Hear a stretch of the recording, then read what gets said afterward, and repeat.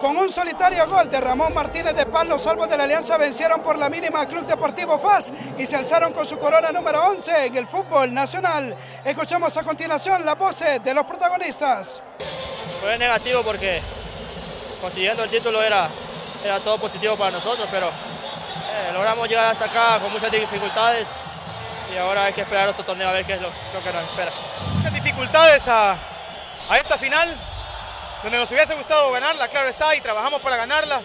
No nos queda ningún sentimiento que dimos todo dentro de la cancha, que dimos todo durante el campeonato, que dimos todo nuestro esfuerzo, nuestro sacrificio, nuestro profesionalismo, nos cuidamos. Uno tenía que ganar, lastimosamente no somos nosotros. Se sabía que era una final y que iba a ser así. Eh, creo que no hay finales fácil. Desde que empezamos a jugar los playoffs con Chalatenango, después la semifinal con Águila y ahora este triunfo creo que, que más merecía la victoria. La, celebramos con mucho más amor. Tuvimos un digno rival que también tiene una linda afición, hay que darle mérito también al rival, pero este era nuestro. Eh, ya teníamos muchos años de, no sentir las mieles del triunfo y valió la pena la espera. Sí, creo que lo soñé, lo soñé un aficionado hoy, ayer en la noche me mandó un mensaje que había soñado que yo metía gol.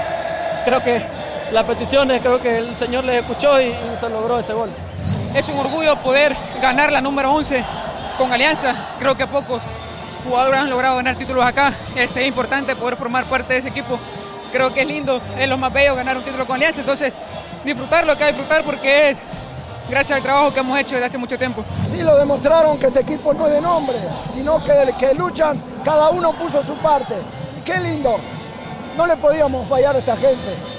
Yo creo que este, este triunfo de ellos lo estaban esperando hace varios años y Dios me trajo a mí, que me trajo como jugador, hoy me trae a mí para que le devuelva un título, qué lindo.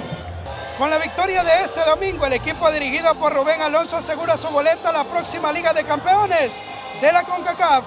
Desde el Estadio Monumental Cuscatlán y con imágenes Rafael Gourmet informó para Fanáticos Plus, Guillermo Estrada.